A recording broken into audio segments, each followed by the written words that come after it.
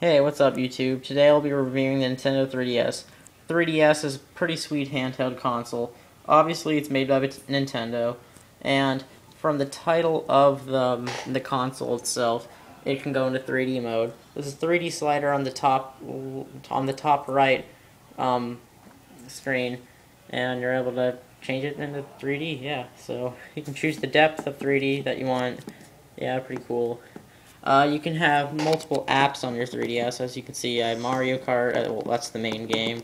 Comes with a whole bunch of built-in apps, and then you have your apps you can get from the from the, um, the store, or the um, Nintendo eShop, as they call it. So, uh, here's some apps. Some free apps are uh, Nintendo Video, Netflix, Swapnote. Swapnote's pretty cool. If you have friends on Nintendo 3DS, which you can add by clicking on the application of the of the um, orange smiley face. Uh, from there, if you have friends, then um, you can send messages to them from your friends list.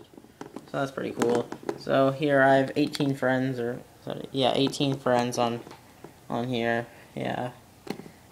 Uh, some other cool features are um, a built-in pedometer. Yeah, so the pedometer, of course, it, you put it in your pocket, it closes the system, and it um, counts your steps. And each 100 steps, you get a play point.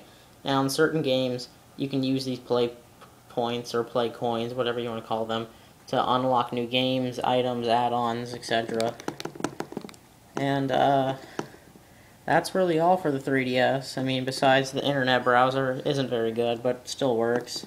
Have a notification center for whatever games have updates or new new um DLCs or something.